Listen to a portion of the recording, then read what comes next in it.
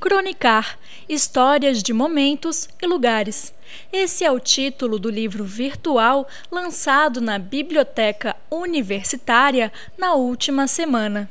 A publicação de 27 crônicas é o resultado de um curso de capacitação para servidores, oferecido pela Pró-Reitoria de Desenvolvimento Humano e Social da UFSC.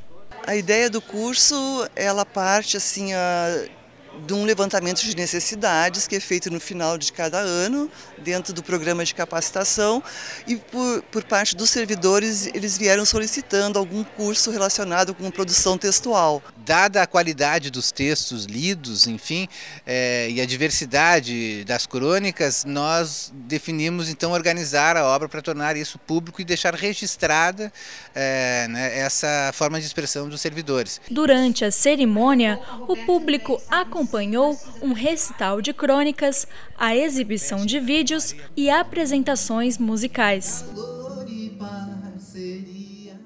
O evento também foi importante para marcar a nova fase da Biblioteca Universitária como editora de livros online. Há muito tempo a biblioteca queria ser editora de livros, então, com todos esses recursos tecnológicos, a gente está inserindo muitos livros eletrônicos na biblioteca e veio no momento certo. É, esse novo conceito de biblioteca, que é um centro de aprendizagem e, acima de tudo, produção de conhecimento. O e-book está disponível através do portal das bibliotecas da UFSC.